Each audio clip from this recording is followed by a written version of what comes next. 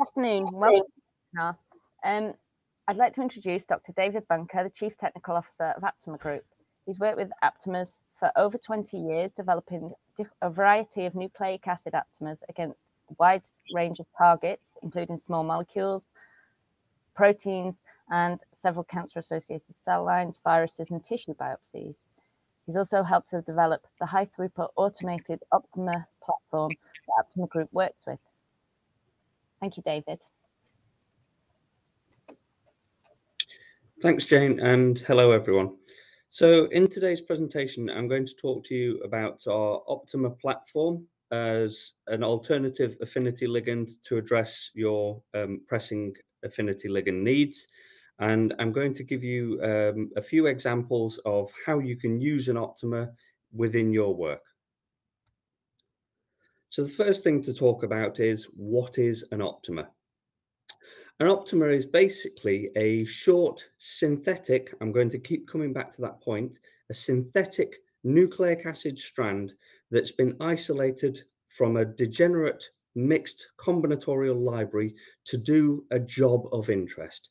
That job is usually to bind to a target supplied by our collaborators and partners to enable them to do a particular job. So you can think of them almost as an antibody alternative. So if you have a problem where you would like an antibody to do a particular job, but you can't get one, you can use an Optima in its place. Now, in the cartoon across the middle of the slide here, you can see one of the key advantages of Optimas straight away. So on the left-hand side, you can see a representation of an antibody in purple, and just next to it, you can see an Optima. And immediately you can see that the Optima is a lot smaller. So in terms of molecular weight, an Optima is about one-tenth to one-fifteenth the size of an antibody. So they're a lot, lot smaller. Now that has a, a, number of advantages if you think of them in terms of cell and tissue targeting. An Optima can get to sites that antibodies are just too big to get to. It also means if you're loading them onto, for example, a biosensor surface, you can get a lot more Optima onto that surface, which gives you a greater potential for um, more interactions. And those interactions are closer to a surface. So generally, it makes a biosensor a little more sensitive. On the right-hand side of the slide there, you can see two different ways in which Optimas can interact with their target. So on the far right, you can see an Optima in blue interacting with a protein target in purple in much the same way that an antibody would. So it finds a compatible surface and sits on that surface, forming a network of interactions. And then just to the left of that, you can see a slightly different mode of interaction where the Optima in blue is interacting with a small molecule target in purple. And in this case, the Optima is folding around that target. So it's forming a cage around that small molecule target. Now, Optimas can do this because they're very, very flexible little molecules. Now, at Optima Group, we have um, three key platforms that we work with that are each tailored to different types of targets. I'll come back to this later on, but those are generally small molecules, proteins, and then cells and tissues. Some advantages of the Optima platform are highlighted on the slide here. So broadly, antibodies are targeted against proteins and peptides. Occasionally you get them against viruses, but other targets tend to be a bit more difficult. So complex molecules like whole cells, can be very difficult to generate um, antibodies against because you generally have to have a recombinant version of your target for you to uh, inject into a, a, mouse, a rabbit, a llama, whatever. Okay. Optimas are developed entirely through in vitro automated processes in our case. This means that we can work with virtually any sort of target. As long as we can handle it in the lab, we can work with it. That also means that we can handle targets that are not necessarily immunogenic or maybe even slightly toxic. So again, we can work with this on a robotic platform, so it doesn't matter if the target stimulates an immune response or not. When it comes to bioprocessing, it's also useful to be able to control the binding conditions and indeed the release conditions. So we can change the conditions under which an Optima binds to its target. That's very useful, and I'll come on to that again later. Um, in terms of production, Optimas have got a number of advantages. So I mentioned at the start of the presentation that these are synthetic molecules. So that means that when you have an Optima, you can then go out and have it manufactured at any number of oligonucleotide manufacturing companies. At the end of the day, it's synthetic, so it's just chemistry to build up an Optima. So once you have your Optima sequence, you can make it again and again and again using routine chemistry. So you've got much more control over your reproducibility of your molecule. So you don't have the batch to batch variability issues that you do with antibodies and other platforms. Optimas are also able to be um, stored and transported dry. They're very soluble, so there's no issues with cold chain storage or cold chain supply. You can store them at room temperature, you can ship them at room temperature, and then just resuspend them when you get them where they need to be.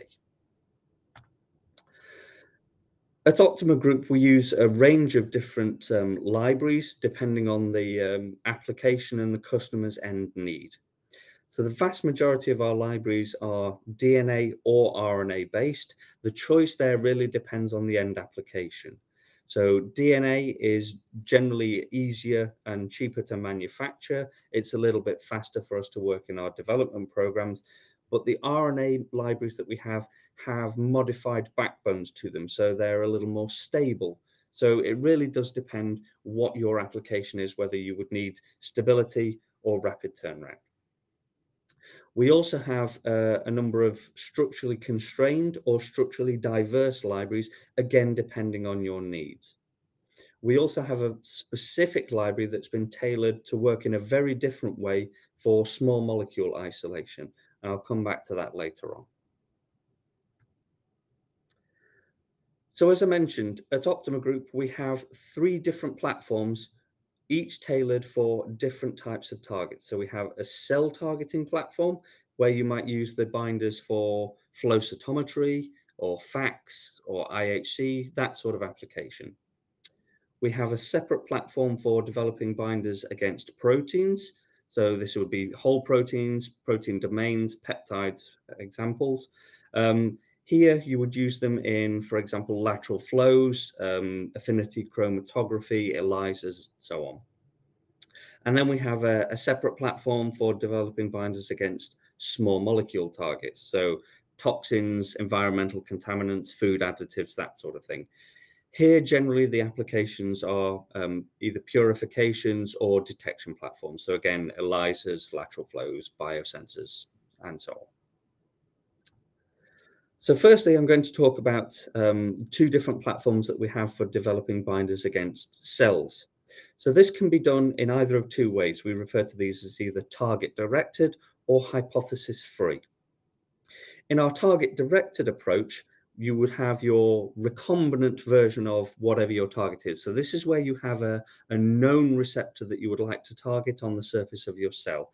So in this case, the target is represented by that little um, purple shape there, immobilized in the early selection rounds on magnetic beads. So in the early rounds of selection, we're enriching the population with binders specifically targeting that receptor of interest, the purple target. In the later rounds, we then switch to cells which express that receptor. Now, this is really important to do because it makes sure that the optimas that we isolate recognize that target but also recognize it as it's presented on the surface of a cell.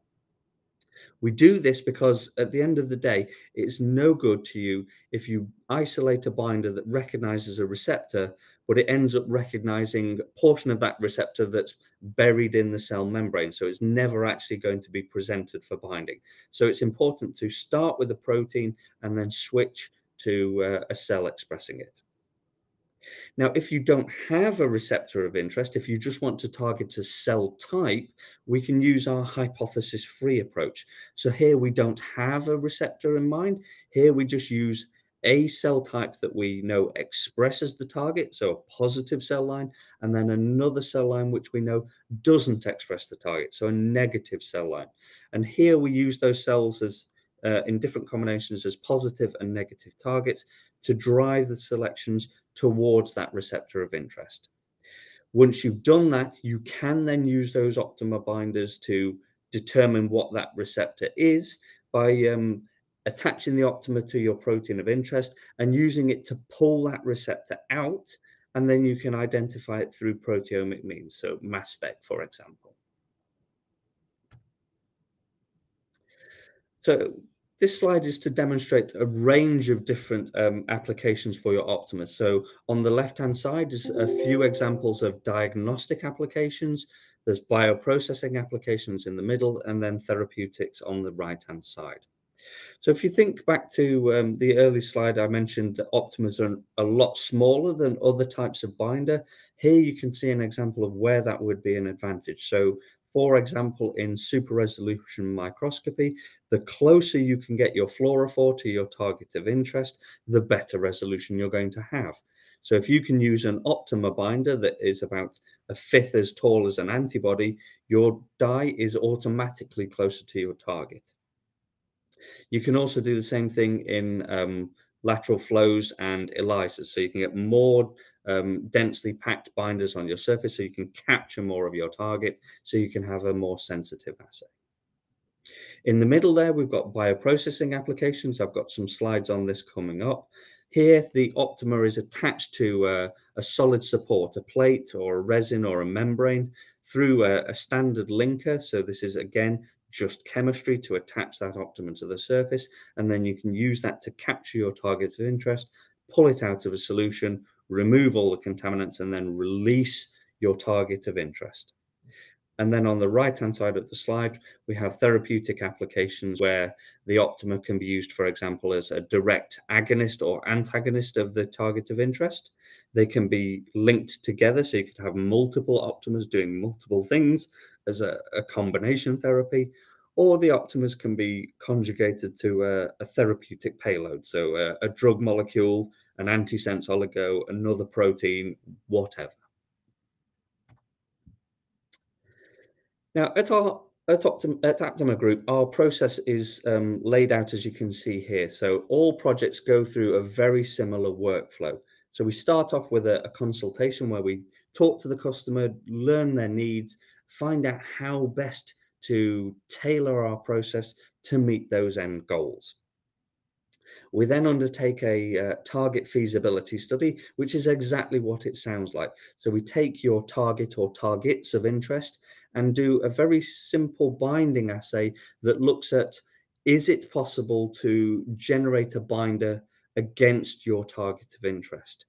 So there's a number of reasons for doing this, but the main one is to triage targets. So to identify whether a target is going to be suitable for Optima selection or not.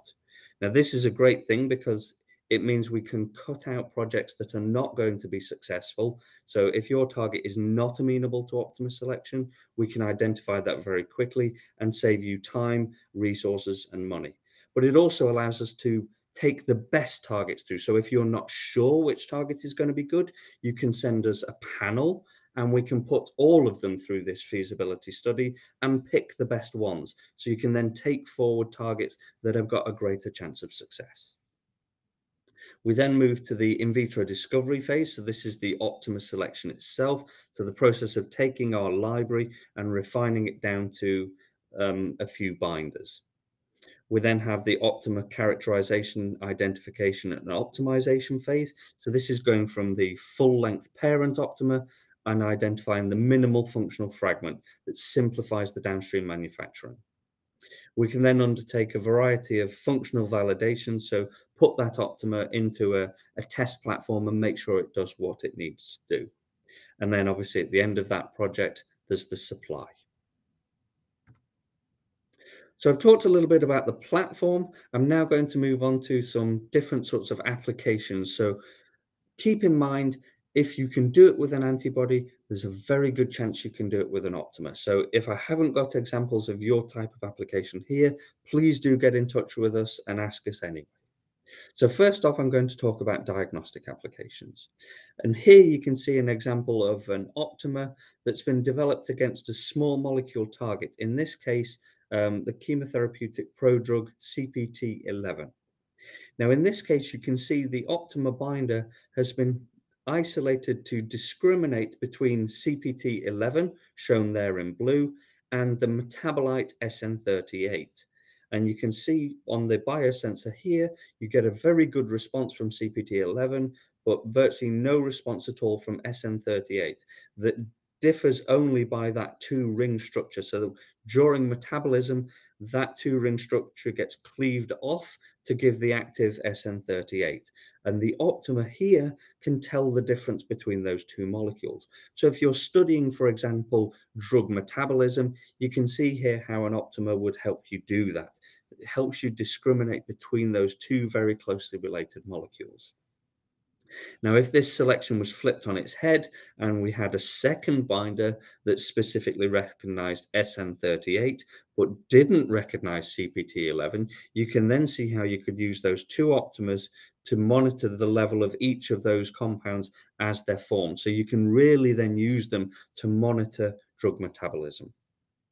And on the right-hand side there, you can see some example data, um, again, from a partner of ours. You can see the publication at the bottom where they put this Optima through its paces. So you can see we've got a good limit of detection, we've got a lower limit of quantification, and we've got a, a good um, precision and accuracy from this binder.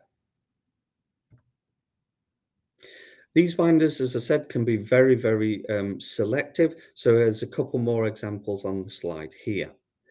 On the left-hand side, you can see uh, an Optima recognizing, in this case, a peptide target. So this is a short peptide, only 20 amino acids long, with a single modification. So in this case, arginine is converted to citrulline. So that's a post-translational modification. And you can see in the biosensor data at the left-hand side of the slide there, the Optima has a much stronger response to the citrulline form of the peptide rather than the arginine form. So again, you can use the binders to recognize post-translational modifications in your target of interest. Then on the right-hand side, you can see um, a small molecule-based Elona, so an Optima-based ELISA. Here you can see three different forms. The left-hand one of the three is specific to folic acid. The central one is specific to formal tetrahydrofolate. And then the right-hand side is specific to methyl tetrahydrofolate. So you can see three very closely related molecules where the optimas that we've isolated against them recognize them independently. They don't cross-react with the other targets. Now, if we look at something a little larger, we've talked about small molecules, let's look at whole cells. So here you can see examples where we've isolated a binder against a specific cell type, and then you can attach a fluorophore, for example, to your Optima and use it in flow cytometry. So on the left-hand side there, you can see an example where we've developed an Optima binder against a positive cell line. So you can see the binder response there in green compared to the no Optima response in red and the non-specific control, a scrambled sequence shown in blue. So the Optima is very clearly binding to its target. And if you look at the data set just to the right of that, it's then not binding to the negative cell line. So we've got specific binding from that Optima. If you then look at the data on the right-hand side of the slide, here we're looking at uh, an Optima binder against a, an ion channel, so NAV 1.7. The binder here very clearly binds to NAV 1.7, but has no response whatsoever to NAV 1.5. So again, you can use your Optima binders to pick out receptors on the surface of the cell and use them to characterize your cells. You can also use these in um, FACS, so you can actually sort the um, cells out based on their optima fluorescence. And because the optimas are not inherently toxic, you can then put those cells back into culture and grow them up. Here we have another example of a, an Optima binder, in this case isolated through our target-directed approach. So the Optima is recognizing CD4 in this case on the surface of a cell. And what you can see here is three different applications of that binder. So on the top left, you can see the Optima on a biosensor. So the Optima is immobilized and it's capturing CD4 in a dose dependent response. So you can see at higher concentrations, you get a higher responsive curve. In the data just below that on the bottom left, you can then see we've used that same Optima again in flow cytometry to sort cells that are specific and have CD4. And then on the right-hand side, you can see an example from one of our partners where they've used that CD4 binding Optima in um, tissue sections from human skin. So here you can see we can actually stain the CD4 on the surface of a tissue. So there you've got three examples where we've used the same Optima in three different platforms on a biosensor, on a cell surface, and on a tissue. So there's examples there of three different applications, including IHC staining.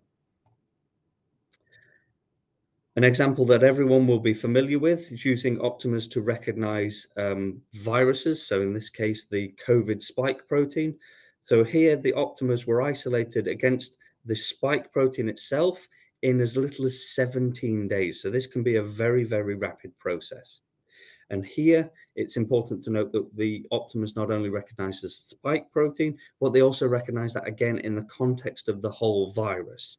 And they can then be incorporated into biosensors. You can see that in the middle of the slide, or into lateral flows. You can see that on the right hand side. And the great thing about these Optimus is that they recognize all the current variants of uh, COVID. So you can see down the right hand, uh, the left hand side of the slide there, the binding data that we got from the wild type and several variants, all being recognized by this Optima. So I've talked about some diagnostic applications. Let's talk about bioprocessing. So as I mentioned at the start of the presentation, you can use your Optima binder, bind to a target of interest. That's great. You can use it to pull that target out. But in the selection process, we can also introduce release conditions. So not only can we make the Optima bind to your target, we can make it let go again. So you can use that to purify your target. You can capture it from a cell lysate, for example. You can wash away the contaminants and then you can change the buffer conditions and release your target into solution and collect it. You can see on the slide here on the left-hand side an example where we've done that on a biosensor. So here we've immobilized the Optima and used it to capture the target of interest from a complex matrix. So you can see that in the center of that binding data. The, uh, the um, target is retained during the wash phase, but as soon as we change the buffer into the elution buffer, the target is released, lets go of the surface and floats away and then that binding event can be repeated. So if you're wanting to use this in protein purification, you want to be able to reuse your column. So it's important to regenerate that surface. And we've shown here you can do that. On the right hand side, you can see an example of how well that Optima works when it's been attached to a small scale purification column. So the input material on the left hand side of the gel, you can see there the um, target of interest is the, the dominant band, but it only represents about 30 to 50% of the input material. So there's a lot of crude other contaminants in there. By the time we've put that, opt, uh, that target down an Optima loaded column, captured it, washed away all the contaminants, and then eluted it, you can see the product is now between 90 and 95% pure. So we've got a good strong band of the eluted material and all the contaminants are gone. The important thing here is that the client and the customer can tell us what those elution conditions need to be. So this can be compatible with your target. We don't need to use harsh regeneration conditions. So you don't need to worry about using denaturants or anything like that in your elution conditions. So you don't worry about destroying your product as you go. I mentioned being able to reuse your um, Optima-based column. Here again is a biosensor example where we've immobilized the Optima and you can see 50 cycles of binding, washing and releasing here, capturing the same target over and over again, releasing it and then going again. And when we take those 50 traces and overlay them, you can see at the bottom of the slide there how reliable and reproducible that is. So you can reuse your column. Um, there's several other examples where we've done this. So again, a very different target here, but the same idea. So the Optima was attached to the biosensor. We've then washed it and introduced the target. Here, again, you can see concentration dependent binding of that target. So more target going on, higher response. That's retained during the wash. And then as soon as we change to the elution buffer, everything comes away. And you can see again, when we attach that to a column, we can put that on a standard FPLC system. And you can see the flow through there, all washing away. And we have a very clean, very sharp elution peak that when you run that on a gel, we've got a good, clean product.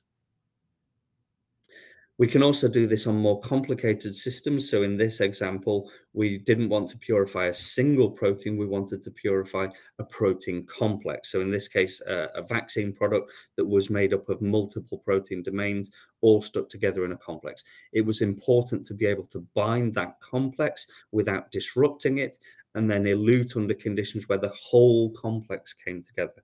And you can see again, when this um, Optima was put onto a column, we purified the protein. And then when you see the gel, you can see that the proteins that are involved in that complex were all retained. So we purified the whole molecule. And then I, I mentioned previously, we developed a binder against the spike protein from COVID. You can see here again, those um, spike protein binding optimers being used in a purification platform.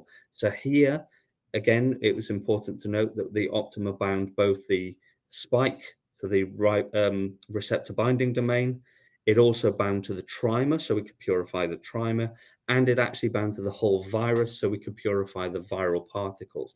So here's an example where we can use those binders to purify a whole virus if we need to. So if you're using things like AAV or other um, viral vectors, you can actually use an Optima binder to purify those out as well. So I've talked about bioprocessing. Um, for the remainder of the presentation, I'm going to talk about therapeutic-based applications of Optimus. So one of the most um, obvious applications of Optima binders is using them as a delivery vehicle. So you can attach a cargo to them and use the specificity of the Optima to take your drug molecule or your target of interest to a specific cell type. So you can see in the data here that we've generated a binder through our hypothesis-free approach. So we don't know what the target is for this binder yet, but you can see very, very clearly that the Optima binds to TGF beta activated hepatic stellate cells across the top of the slide there. So the Optima is stained in red, but it doesn't recognize primary hepatocytes. You can see that across the bottom of the slide. So we've got cell-specific recognition. They can then be attached to a whole variety of different cargoes. So in the example here, this is a different Optima um, against um, H929. So you can see in the flow cytometry data at the top left, the Optima is very specific. It binds to H929, but doesn't bind to K562. In the data underneath that, you can see fluorescence microscopy, again showing binding to the H929, but not K562. You can then see in the gel in the, um, the top middle of the um, image there that the Optima has been successfully conjugated, in this case to an antisense oligo, an ASO. And then on the top right-hand side, you can see a number of different things happening. So firstly, you can see that the ASO on its own in gray on the left-hand side, binding to those cells. So there's no specific delivery here. There's a, a very small knockdown effect. The Optima on its own in yellow next to that, having very little effect at all. But what's important is the blue bar towards the middle of the graph. You can see when the Optima is conjugated to that ASO, the Optima takes that, op, uh, that ASO specifically to the cells and gives you an improved knockdown. So you've got a, a delivery and an improvement in activity. Now, there's also um, important things happening on the um, next three examples on the left-hand side data set. So you can see the ASO alone binding to the control cell line, so the K562 with the black bar there. So the Optima is actually being taken up non-specifically by those cells and having quite a significant knockdown. You've knocked down about 50% of the activity there from the ASO alone. However, when you have the Optima conjugated to the ASO, so we're looking now at the um, the green greenish bars on the right hand side, you can actually see that that knockdown effect no longer happens in the K562. So what you're seeing there is the Optima is stopping that ASO going to cell types that we don't want it to. So not only have we demonstrated delivery and improved uptake in our target cells, we've also demonstrated that we can stop non-specific uptake or unwanted uptake in other cell types. So you can really use the Optimas here to deliver exactly where you need to go. Other examples of using Optimas as therapeutics, you can use them as direct therapeutics. So not as a delivery vehicle, but to directly impact a protein's function. In this case, we're using the Optimas against a, um, a splicing factor. And what you can see on the um, micro, uh, microscopy images on the left-hand side of the slide, the Optima stained in red is quite clearly getting to the nucleus of the cell and staining its target of interest. Now, what you can also see there is an antibody that's directed against this same target, showing up the protein as well. Now, it's important to note here, if you look at the merge, the Optima doesn't stain all the same regions that the antibody does. Now, that's really important because this Optima was designed to be specific to a mutated form of this splicing factor. It doesn't recognize the wild type the antibody is not able to discriminate between the two. So the antibody staining both mutant and wild type, where the Optima is only staining the mutant. This is really important for its function. Now, when you look at the activity effect of that Optima, you can see that it's actually partially blocking the um, mutated splicing and is allowing the wild type splicing to be restored. So you can see in the um, gel image in the center of the uh, the slide there, with the negative control, so the untreated cells, you've got a very strong mutant spliced mRNA and very little wild type, indicated by the red and green arrows respectively. However, when you treat the cells with Optima, you can see that the amount of mutated mRNA that's being produced is significantly reduced and the amount of wild type spliced mRNA increases. We've also mentioned that um, previously you can use Optimas to recognize viruses. Well, if you recognize the spike protein on the surface of a virus, you've then got the potential to block that protein-protein interaction. So you can stop the virus infecting cells. Now, if you can use the Optimas to block viral entry, you could also block other protein-protein interactions. But in this case, let's talk about viral infection. So on the left-hand side, you can see a panel of different optimas being screened, and you can see the ones in the middle of that graph very clearly reduce viral infectivity. So they're binding to that spike, stopping it interacting with its receptor on the surface of a cell, and therefore stopping viral infection. The data in the middle of that uh, slide then shows a concentration dependent response. So you can see the optima with the triangle traces there showing very clear dose dependent response. So blocking viral infection. And then the data on the right hand side of the slide, you can see three of the different optima candidates, the black bars showing a reduction in viral infection. But when we scramble those sequences and create the white bars, so for example, F2M is a scrambled version of the Optima F2. When we scramble that sequence up, it no longer has an effect. So it's a specific Optima effect. It's just not, it's not non-specific interactions with nucleic acids. So again, using the Optima to block a protein-protein interaction, and in this case, block viral uptake. So, just in summary, um, Optimas are synthetic oligonucleotide-based ligands that can be used for all sorts of applications. So wherever you can use an antibody, you can use an Optima in its place. Um, Optimas are isolated against virtually any sort of targets, so proteins, cells, tissues, whatever you want. They're reliably manufactured on large scales because they're synthetic so that minimizes your batch to batch variability. So they're more reliable molecules. They can be stored dry and shipped without cold chain. So you can use them wherever you want without that worry of degradation. They can be used in all sorts of applications from simple um, assays like Ilonas all the way through to cell-based assays like um, flow cytometry and IHC. Um, you can also use them for um, bioprocessing and quality control. And at Optima Group, we have specific processes tailored for each of those target types so we can develop binders against virtually any sort of target. So if you have um, any target of interest, please do come and see us. We'd be happy to help where we can. So thank you for your attention and I will now take questions.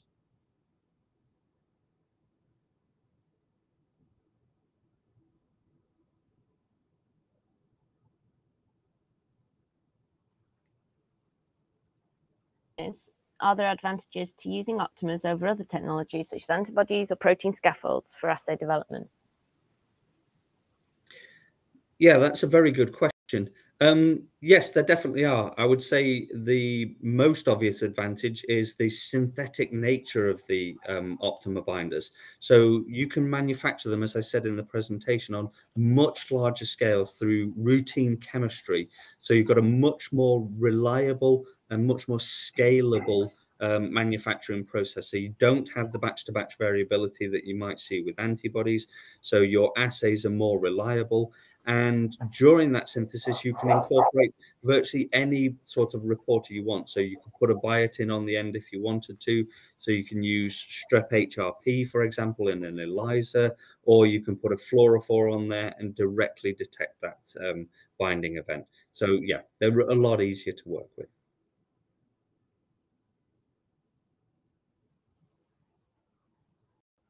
That's great. Are there um, any circumstances where Optimas might not be a suitable tool for use in an assay? Yeah, that's a good question. Uh, it's a very fair one. Yes, there are situations where an Optima might not be suitable. Um, so, for example, Optimas um, don't work particularly well in extreme conditions. So, we're talking extremes of pH, you know, less than pH 2, um, above pH 14, they generally unfold and they can either be hydrolyzed or protonated. So at extremes of pH, an optima would probably be degraded.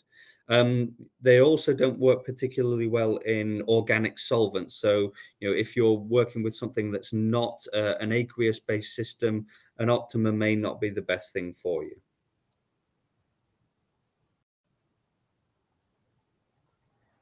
The next question next. is, can the small molecule binding optimers be used as riboswitches for controlling gene expression? That's a really good question. Um, simple answer is yes. Uh, so one of the great things about optimers, as I mentioned in the presentation, they're very flexible molecules. So when a target um, especially a small molecule, engages with an optima, it undergoes quite a significant conformational change. So if you think of that in terms of a riboswitch, which has a very defined structure, if an optima is built into that riboswitch, when its target is engaged with the optima, that changes the conformation of the optima and then the environment around it, so the riboswitch as well. So you can turn either a riboswitch on or off depending on the nature of that interaction. So yes, they can, and they're very good at it. Thanks, David. Thanks, David. The following question is, you showed fluorescent IHC data in this presentation. Is it possible to use chromogenic readouts for IHC with Optima binders? Yeah, absolutely. Um, so as I mentioned, the Optimas, when you manufacture them, is routine chemistry. So you can build up your Optima and then put whatever you want on the end of the Optima. So that could be a fluorophore, but it could just as easily be either a biotin or other functional group. And then you can attach whatever you want. So for, if we use the biotin example, you can then use that to capture for example, strep HRP and turn over a substrate to give you a, a colorimetric readout.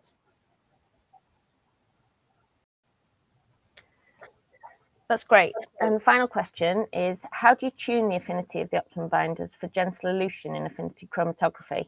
For example, would it be possible to develop optima binders for binding and release at the same pH? Yeah, good question. Um, we actually do that tuning during the selection process. So if you think about how Optima development works, we take your target of interest and immobilize it onto a solid support. And then we interact that with the Optima library. So we can put that under one set of conditions and allow the Optima library to engage with your target. We can then use that solid support to pull out your target and any Optimas that are bound to it. We can then wash away any of the weakly associated binders and leave only the best ones. We can then change the environment of that um, interaction. So you said, for example, you could put them in the same buffer, but change, for example, the salts that are in there. So increase the ionic strength, for example. That would then um, disrupt that Optima interaction with its target and release the binder. So when you come to use that in protein purification, you can flip the whole situation on its head and immobilize the Optima and do exactly the same thing. So the Optima will bind to its target under one set of conditions, one pH, for example, and then you can change the conditions, increase the salt, and the Optima will let go and release your target into solution.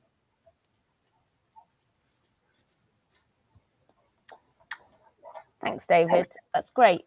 Um, if there's any more questions, can you please email them to the email address on the screen? Thank you very much.